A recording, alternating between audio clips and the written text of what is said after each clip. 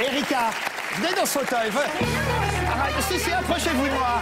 Venez, venez me voir, Erika, venez. Votre carrière est encore très très courte. euh, Voilà, dans l'actualité, je suis dans l'actualité. Mais comment donc, vous expliquez-vous que. Voilà, ça fait combien de temps maintenant que vous êtes sur LCI Deux ans. Voilà, en, en deux ans, mais enfin plus régulièrement, les samedis soirs, les vendredis soirs et dimanches soirs depuis. Voilà, en fin de semaine, depuis, oui, ça fait, ça fait six mois, sinon j'étais en matinale, ça bouge. Voilà, depuis six mois, euh, les week-ends, les soirs du week-end, on ne parle que de vous dans la presse. Vous Pourquoi- parlez, vous parlez beaucoup de Ah moi non, là, non, non, moi soir. j'ai- les articles, il n'y a pas que moi qui parle de vous. On vous a tous repérés. Pourquoi? Qu'est-ce qui fait que vous êtes différente des autres, à votre avis? Parce qu'il n'y a que ça des gonzesses qui présentent l'info euh, sur Ah non. Pardon? Ah non. C'est la première chose qu'on remarque quand vous apparaissez à l'écran. On s'aperçoit combien les physiques féminins sont formatés au contraire et vous, vous tranchez. Alors, on a l'impression de voir un peu toujours le même, même genre de femmes. Vous, vous tranchez. Alors qu'il y ait des femmes qui présentent ça, il y en a beaucoup. Et des Mais- jolies femmes. mais oui, mais avec un physique particulier, euh, vous avez quelque chose de différent. Vous tranchez. Oh, comment elle vous regarde C'est ça qui, c'est ça qui, ça qu'on aime. c'est quand elle fait. Ah, j'adore. Ouais, j'aime- Juste pour moi, juste pour me faire revenir à la réalité. Je sais pas moi, dites-moi. l'actualité, dites- au fond. euh, Voilà, dites-moi, va. annoncez-moi, dites tiens, annoncez-moi une entreprise qui va licencier, ça va me. Non, non, non, non, Non. On en annonce beaucoup là ces derniers, ces derniers Vous jours. vouliez être journaliste au départ? Écoutez, je, oui, maintenant être à l'antenne, c'était pas non plus un but. Donc euh, c'est arrivé aussi un petit peu en travaillant et parce que j'ai rencontré les bonnes personnes. Ce qui euh, fait qu'on vous a remarqué, c'est effectivement, euh, d'abord votre coiffure, faut bien dire les choses. euh, hein, vous êtes un peu rock'n'roll euh, dans votre façon de- de- d'apparaître à l'écran. C'est ça en fait qui amuse peut-être, les- enfin amuse. Ça n'empêche pas d'écouter euh, les informations, mais le fait qu'on on choisit. Qu'est-ce qu'il y a, Tim Seed Je sais pas, je vous sens perdu là. C'est bizarre. Bon, ce qu'on remarque chez vous en tant que journaliste, c'est la coiffure. Donc, euh, vous voyez, ça fait bizarre, quoi, non? Il est paumé, quoi, il est perdu. Là, il est au cœur du- non, C'est mais il est un homme perdu, quoi. Essayer oui, elle- sauver, quoi, là. là. elle me trouve. Non, mais sérieux, quoi, il est... euh, Ben, elle vous trouble pas, vous Non, c'est c'est un niveau... euh, Erika me trouble, mais elle me C'est la passionne. centième ou c'est la dernière quand on a sorti on a un pitch comme le vôtre tout à l'heure, pendant un quart d'heure, Il a des frais, il a Ouais, des ouais, crédits, le nono je tiens à garder mon boulot, moi, Guillon. Bon. Erika Moulet s'est capté l'attention. Croyez-moi, vous êtes là le samedi soir d'un seul coup. Regardez Il a pété un boulard Croyez-moi Regardez, Erika Non, mais vraiment Et c'est vous C'est parler, elle est là. d'un seul coup, vous lâchez tout pour. euh, euh, et, et là, je vous jure.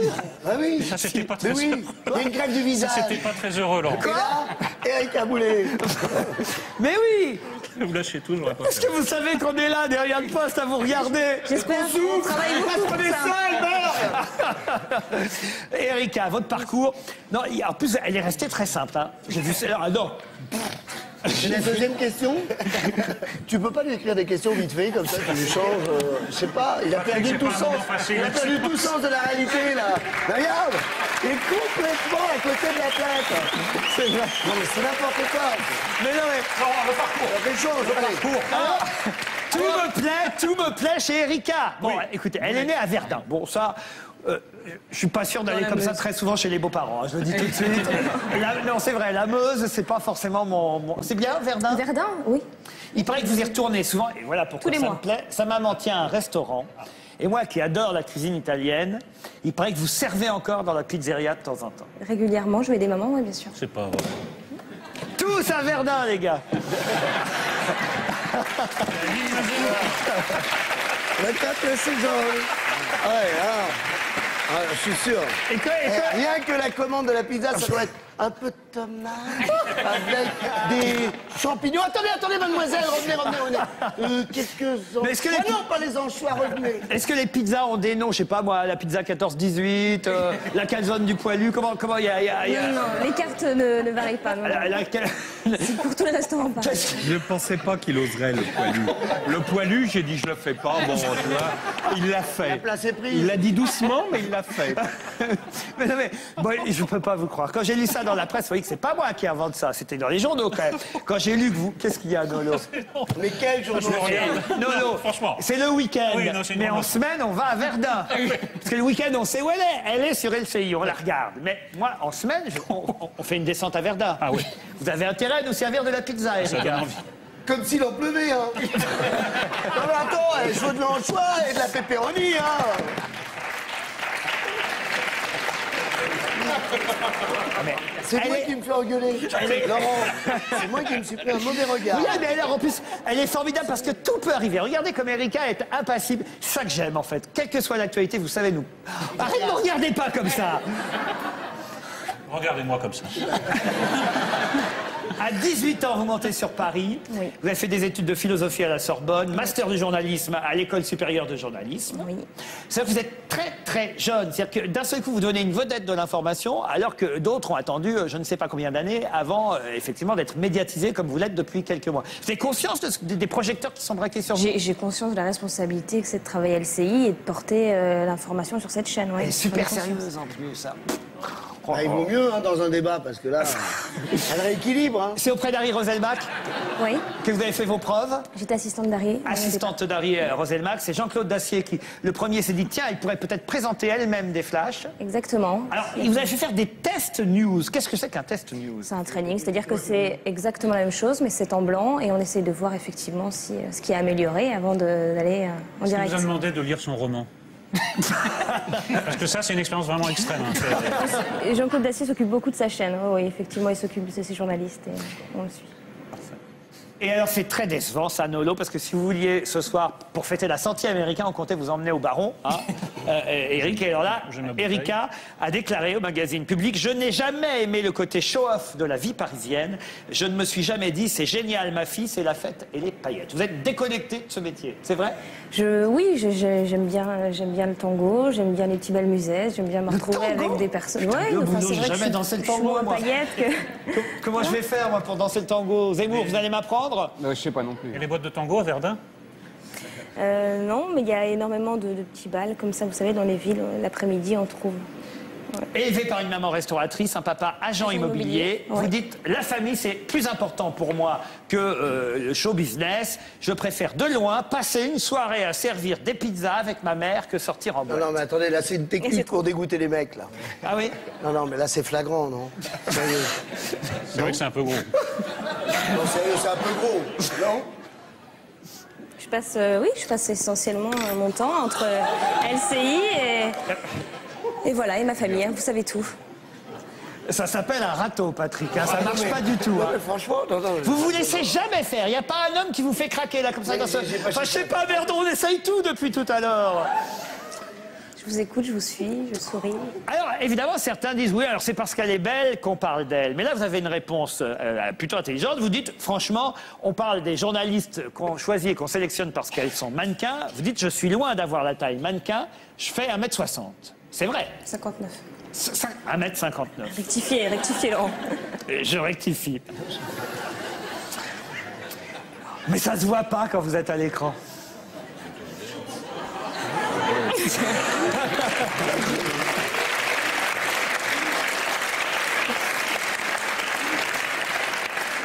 Alors, il y en a qui ont été méchants avec vous alors que c'était absolument pas de votre faute. Moi, je vais la défendre. Maître Klarsfeld, j'espère qu'on sera deux à défendre Erika Moulet parce que vous avez eu un Gérard de la Boulette pour euh, l'histoire. Bon, euh, c'est pas nous, évidemment, qui allons. Nous, nous aussi, on avait eu pour Pascal Sevran. Vous, c'était pour euh, Yves Saint-Laurent, la nécrologie d'Yves Saint-Laurent qui était partie à la place de celle d'Aimé Césaire. En- Voilà, c'est en- une erreur technique, c'est une dur. erreur technique. Mais Mais c'est vous, évidemment, c'est qui, qui- bien qui- entendu. qui deviez annoncer ça. Comment vous avez fait après, alors? Ben, vous arrivez, vous savez, j'étais pas là depuis très longtemps, donc c'est vrai qu'on n'a pas forcément les mots quand ce genre de choses arrive. Euh, c'est deux nouvelles dramatiques, et euh, donc on est, euh, voilà, on essaie de faire au mieux, mais Bon, je pense qu'il n'y a rien à dire. C'est une erreur technique. Yves Saint-Laurent à la place. Mais vous n'y êtes pour rien, vous, dans ces cas-là. Ah bah c'est, oui, vous savez, c'est une bouteille de coca. Vous demandez, c'est Orangina qui tombe. Enfin, on est d'accord, euh, on ne peut rien y faire. C'est une machine. joli comme euh, image. Non, enfin, c'est pour simplifier, quoi. Sympa pour les messagères. Je n'ai pas de commentaires. Vous devez recevoir beaucoup de courriers, j'imagine, de téléspectateurs. Je, oui, oui, c'est important, c'est important. Des lettres conseils, de, Mm, non, ce sont des, gens qui sont E, là et un type qui s'appelle EN qui vous a déjà fait des propositions par courrier? C'est donc ça. Non. Vous répondez vous-même, dites-vous, c'est vrai Oui, Vous sûr. répondez à toutes les lettres qu'on vous envoie. Ah oui C'est important. Je commence tout de suite. Alors, vous lisez des papiers sur vous. C'est la première fois que ça vous arrive, ça, évidemment, parce que jusqu'à maintenant, vous étiez journaliste, c'est vous qui écriviez euh, des papiers sur les autres, ou en tout cas, vous écriviez les infos que vous lanciez. Là, vous commencez à lire des articles sur vous. Est-ce que vous relevez les erreurs Et Est-ce que vous vous dites, tiens, euh, tous les journalistes font pas si bien leur travail que ça? Parce que finalement, vous êtes des deux côtés de la barrière. Mon regard critique sur, sur soi, je, non, je, je je l'ai ailleurs qu'en Par exemple, des... je prends le papier du Parisien. Vous le commentez pour moi, le papier du Parisien. Impossible de ne pas la remarquer en allumant LCI le week-end. Outre son minois de biche. Ça, ça vous fait plaisir ou pas, minois de biche? C'est-à-dire que c'est l'accroche. Maintenant, c'est vrai que la suite, on va voir. Erika arbore une coiffure d'héroïne manga. C'est un choix, cette coiffure manga Non, c'est pas un choix, je vous assure. alors, je- ça fait des années que je suis comme ça. Et là, je suis très concentrée sur mon travail et je m'occupe de bien d'autres choses que de mon look. Mais Bon, je me suis toujours habillé comme ça. Un look fantaisiste qu'on l'a instamment prié de garder après Infosport François et Europe 1, là où elle a fait euh, ses armes de journaliste. Elle fut propulsée aux commandes de son premier JT sur la chaîne euh, Tout Info. Et là, la journaliste du Parisien raconte que pour être euh, euh, interviewée, vous êtes arrivé, c'est rare une journaliste interviewée quand on débute comme ça, évidemment, on se dit, bah, vous êtes arrivé avec votre bloc-notes et votre stylo. Alors c'était vous qui répondiez aux questions. je l'ai lâché en arrivant sur le plateau. Je l'ai toujours. Ah, vous prenez des notes sur tout Bon. Et alors, il paraît que faites très attention à ce que vous dites dans les termes. Par exemple, vous dites pas quelqu'un a trouvé la mort quand vous annoncez des informations, parce que le mot trouver est un mot qui ne. Enfin, trouver la mort, ça vous convient pas. Non, c'est vrai qu'il y a un certain nombre de termes comme ça qui me sont difficiles à, à exprimer. Donc Qu'est-ce que vous dites à la place de trouver la mort, par exemple? Bah, Effectivement, des personnes euh, sont mortes, mais il y, a- il y a des choses que je n'arrive pas à dire. j'avais- Pourquoi vous êtes venu en patin? J'avais pas vu vos chaussures, Erika. Faites du patin à glace aussi en plus. Vous vous rendez compte? On est polyvalent. hein. Et autant moi je me suis pris un râteau, autant vous ça marche. hein. non mais sérieux. euh, On est vraiment. hein. Eh, je, laissais faire. Je me suis dit je gâche l'ambiance. Non, à un moment je me suis dit je dois péter l'ambiance quoi. C'est c'est moi. Euh, J'étais navré, hein. J'étais. euh, Vous venez d'emménager à côté de la rédaction, dites-vous. Exactement. Et vous dites, je suis fine et heureuse. Et ça, il paraît que c'est une expression de Une Verdun. expression de Verdun. Ça veut dire quoi, je suis fine et heureuse? Oh, vous enlevez le premier mot, ça me fonctionne parfaitement. Vous êtes heureuse. voilà. Bah, nous, on est heureux de vous regarder le week-end, heureux de vous recevoir ce soir pour la première fois dans un grand talk show. Mais alors, elle reste sérieuse. Vous voulez pas montrer une autre image que la journaliste sérieuse hein? Que, que, que la mienne, je pense que non, non, je suis en accord, tout va bien. Non, non. Ça vous embête de voir des gens qui sont bien dans leur peau alors que vous êtes mal dans votre peau. Bah oui, surtout là, je suis là. Bah oui. Je suis là. Il est là, il sait pas se situer, il est là, il déconner alors qu'il y a des choses graves. Je me suis vraiment pris un râteau, euh, Patrick. Non, pas du tout, comparé au mien. C'est- C'était euh, c'était la, la foire du trône. Je vous laisse. Mains d'Éric Zemmour et Eric Nolot pour une ou deux questions. Eric Nolot. On va voir s'ils sont plus malins. Tiens. Je vais laisser commencer Zemmour. Eric, quel conseil vous donneriez à, à Eric Amoulet, qui est une jeune journaliste? Pour se faire détester tout le monde.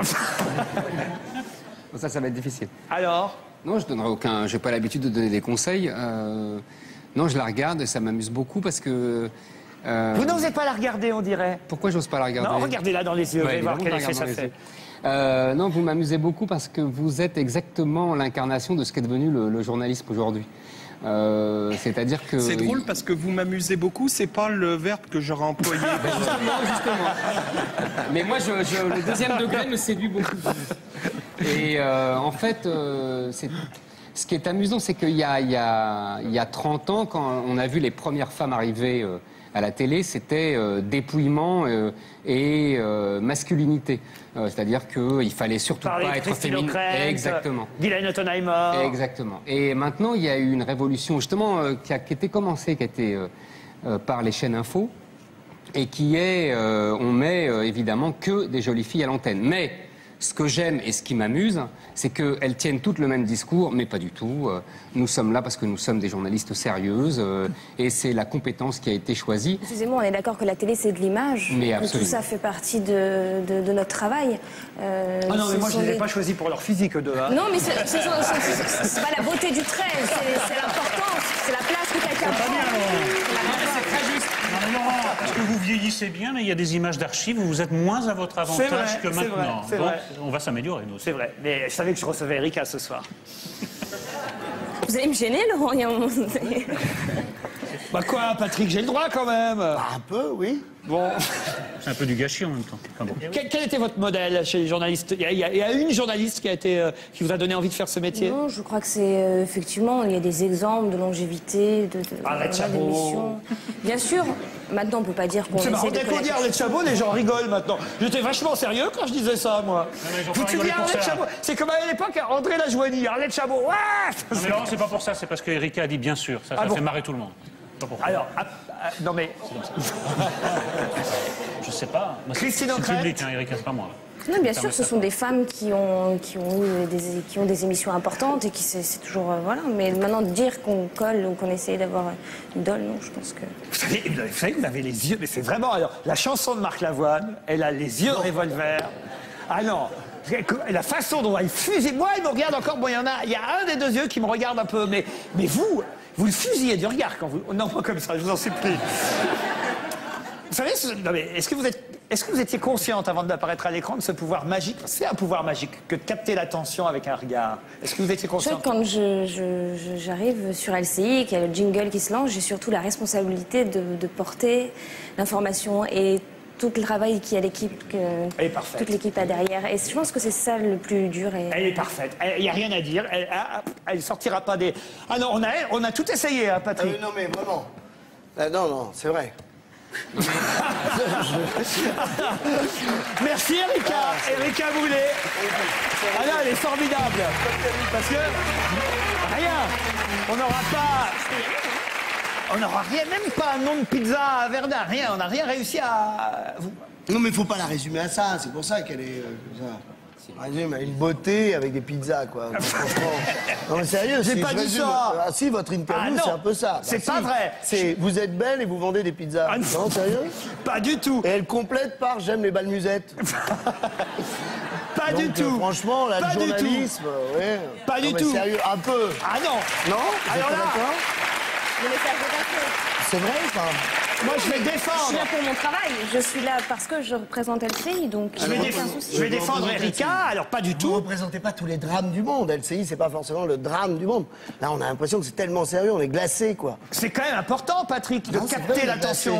Oui, mais on n'a pas besoin d'être si glacé, quoi. Moi, je trouve que vraiment. de- Non, mais parfois, les... non, faut... non, faut enchaîner, il veut dire enchaîne. non, sérieux, là, j'ai deux patrons, là. Hey. Si les trois plus méchants de la Terre s'en sortent pas, eh, je vais pas pouvoir faire de vieux os. Dans ces cas-là, vous savez ce qu'on fait puisque c'est la centième ce On soir. applaudit Eric Nard. Cassé, cassé. Ah, il nous a bien cassé hein, quand même. hein.